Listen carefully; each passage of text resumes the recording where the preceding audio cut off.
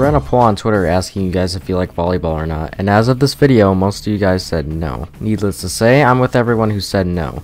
Why? Well, this video will explain why. By the way, sorry for the lack of videos. There have been some family issues I've been going through right now. I won't go through it, but don't worry, I'm doing fine. Anyways, the usual plug.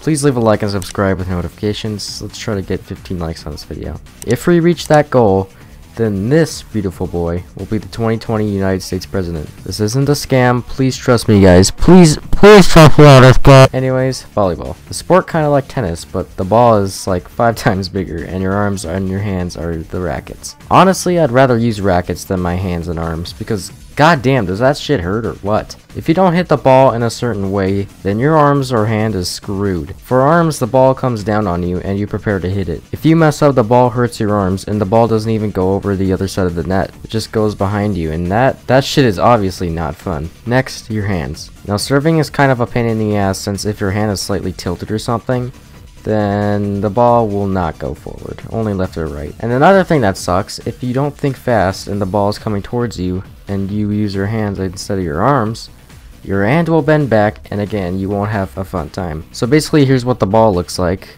but this on the other hand is what it feels like. Like why can't we have those soft and less painful volleyballs from elementary school?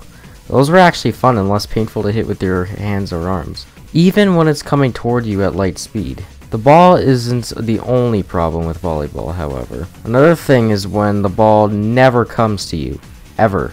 So you'll be standing in one spot while the ball goes to the same person over and over. And when the ball does come to you, it is when you least expect it, and you end up giving a point to the other team. But Nick, you should always expect the ball to come to you. Yeah, but the ball rarely ever came to me so I let my guard down. Like, goddamn, I have a better chance of winning the lottery than the ball coming to me. Okay, I know that's a bad analogy, but you probably get the point, right? By the way, my school does the thing where they have a competitive side and a casual side when we play a sport. Yes, I did both sides, and they're equally as boring. That's a problem. Not only that, but the same thing happens where the ball never came to me.